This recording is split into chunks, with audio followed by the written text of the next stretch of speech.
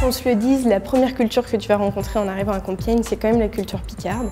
Mais pas d'inquiétude, si le temps n'est pas toujours au rendez-vous, chacun rapporte son petit rayon de soleil des quatre coins de la France ou même du monde. Avec des étudiants en projet Erasmus ou en semestre d'études à Compiègne, l'UTC rassemble des cultures diverses et variées que tu auras le plaisir de découvrir. Certaines associations étudiantes proposent des repas de rencontre pour apprendre à connaître les nouveaux arrivants. Et tu auras même la chance, si tu le souhaites, de parrainer un étudiant étranger, de quoi voyager un petit peu toute l'année. Au-delà des cultures que tu rencontreras à l'UTC, euh, on t'encouragera vivement à partir toi aussi à l'aventure dans l'une des universités partenaires de l'UTC. Elles sont au nombre de 140 et elles sont sur 5 continents différents. Donc autant dire que le plus dur dans un départ à l'étranger, c'est le choix de la destination. Séjour d'études, stages techniques, double diplôme, les occasions sont très nombreuses.